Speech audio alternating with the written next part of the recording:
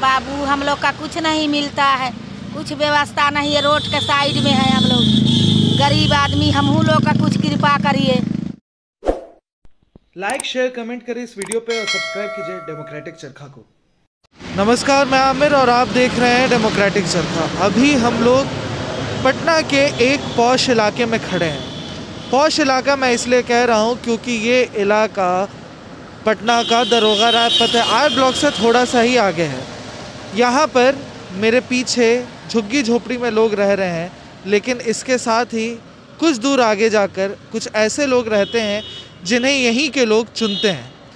यानी यहाँ के विधायक। ये विधायकों का क्वार्टर भी यहाँ से पीछे है।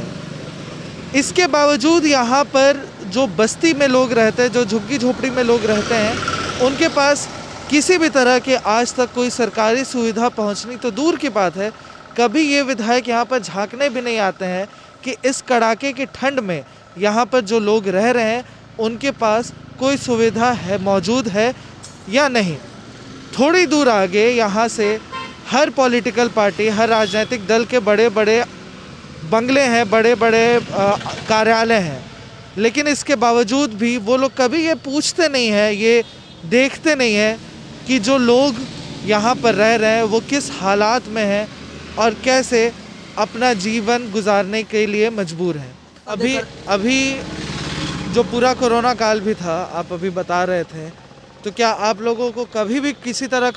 मिला है? कुछ नहीं मिला सर।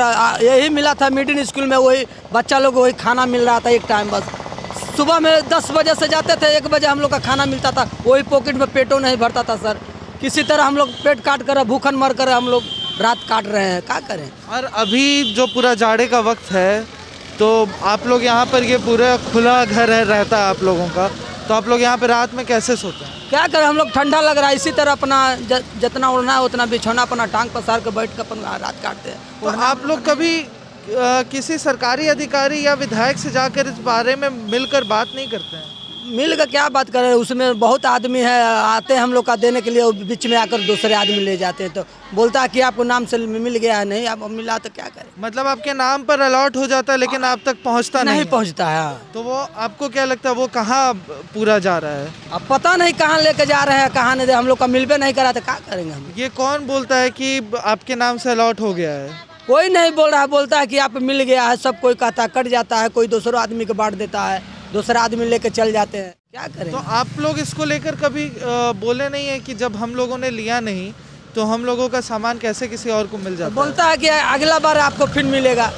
जब हम लोग अगला- बार का हम लोग को आशा दिखा देता है दोबारा हम लोग का मिलता नहीं। यहाँ पर पटना में सरकार ने कई रैन बसेरा बनाया है जहाँ पर वो लोग कह रहे हैं कि चौकी गद्दा कंबल हम लोग सब दे रहे हैं यहाँ पर लोग आए यहाँ पे आके लोग सोए। कुछ नहीं देते तो देते। आप लोग वहाँ कभी नहीं जाते हैं? जाते हैं हम लोग को मिलबे नहीं करता है। बोलता है कि ले जाएँगे बांटने के लिए अपना डेरा पर जाइए वहाँ पर आपको लोग को देंगे बांट कर मतलब आप लोगों को रैन बसेरा के अंदर भी नहीं हाँ, घुसने देता नहीं देता है। बोलता है कि आप जगह पर रहिए अपना जगह पर हम लोग पहुँचाएँ। अभी तक आशा दिखा के पहुँचाते नहीं। बोलता है कि हल्ला गाड़ी आया भाग जाओ भाग जाओ। इसमें हटा देते हैं नहीं बांट के लाते हैं हम लोग का नहीं देते हैं। मतलब बांटने की जगह आप लोग को यहाँ से हटा भी दिया जाता आ, है। हाँ हल्ला गाड़ी आता है हम लोग को हटा देते हैं भाग जाते हैं दो दिन के बाद इधर रोड के बाद में रह जाते हैं उसके बाद चल जाता है हल्ला गाड़ी आकर फिर बच जाते हैं।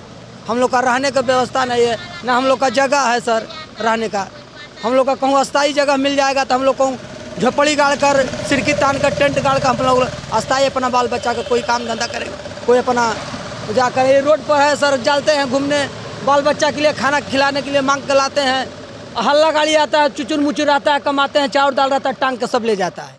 ये सच्चाई है पटना के रैन बसेरा की जहाँ पर कई मीडिया संस्थान ये दावा करते हैं कि पटना में जो सरकार ने रैन बसेरा बनाया है वो एक तरह से थ्री स्टार होटल की तरह है जहाँ पर हर तरह की सुविधाएँ मजदूरों को मिलती है रिक्शा चालकों को मिलती है लेकिन यहाँ पर जो लोग बता रहे हैं और सिर्फ़ यहाँ की ही बात नहीं है कई लोग जगहों पे हम लोगों ने जब बातचीत की तो वहाँ पे लोगों ने कहा कि उस रैन बसेरे के अंदर कई लोगों को घुसने ही नहीं दिया जाता है। और यहाँ पर भी बताया जा रहा है कि उस रैन बसेरे में अंदर नहीं जाने दिया जाता और साथ ही एक आ जाता है आप अपने घर जाइए आपको कंबल मिलेगा। यहाँ पर आप लोगों को कभी सरकार के तरफ़ से कोई मकान या रहने के लिए कोई सुविधा मिली? देता हम लोग का। कुछ नहीं देता है।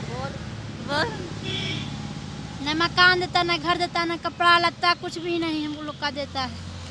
तो आप लोग यहाँ पर विधायकों का इलाका है यहाँ पे कई एमएलए विधायक रहते हैं तो क्या वो लोग आप लोगों से कभी मिलने नहीं आते हैं कभी बात कर नहीं मिलने नहीं आता हम लोग से। तो ऐसे खुले में आप लोग जाड़े में कैसे यहाँ पर रहते हैं? गरीब आदमी। हाँ बाबू हम लोग का कुछ नहीं मिलता है कुछ व्यवस्था नहीं है रोड के साइड में है हम लोग। गरीब आदमी हमहू लोग का कुछ कृपा करिए।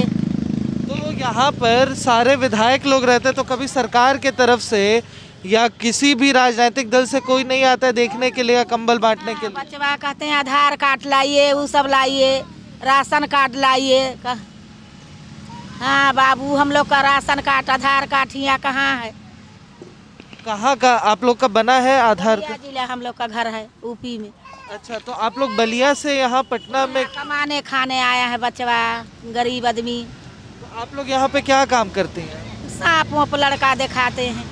अच्छा। हाँ। और यहाँ पर अभी जो जाड़ा पूरा पड़ रहा है तो आप लोग यहाँ पे कैसे रात में यहाँ पे वही सब ओढ़ना ओढ़ ओढ़ के रहते हैं बचवा लोग। फटा पुराना।